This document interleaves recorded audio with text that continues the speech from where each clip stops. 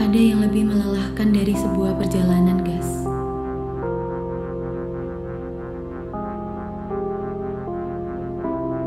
Menghayal tentang hidup bersamanya.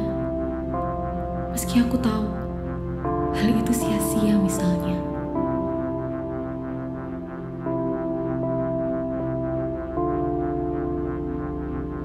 Kadang-kadang aku berpikir